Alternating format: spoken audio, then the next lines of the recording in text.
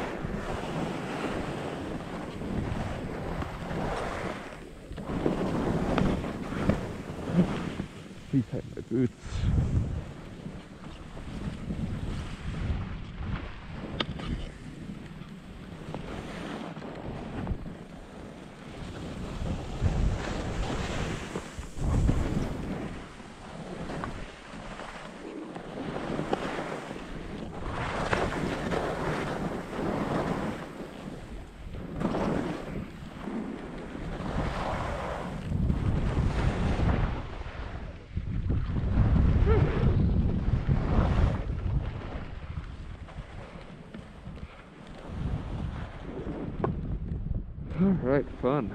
Over.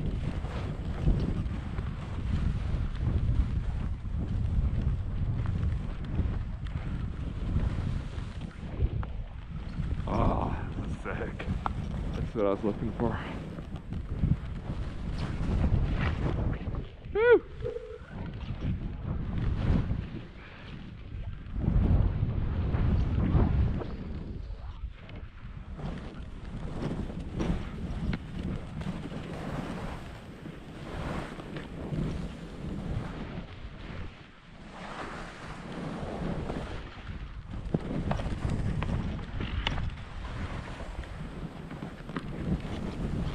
Run, wow.